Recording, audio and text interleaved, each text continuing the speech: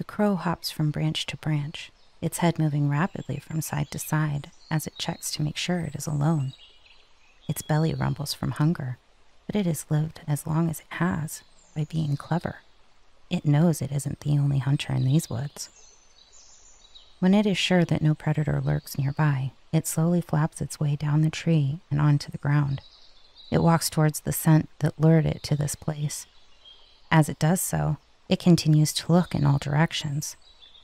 While it's now certain that it's alone, there's no reason to take chances.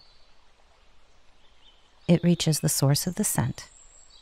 It clicks its beak a few times before beginning to tear at the flesh. There are hundreds of human fingers sticking up from the dirt, more than enough to keep it fed for a long time to come.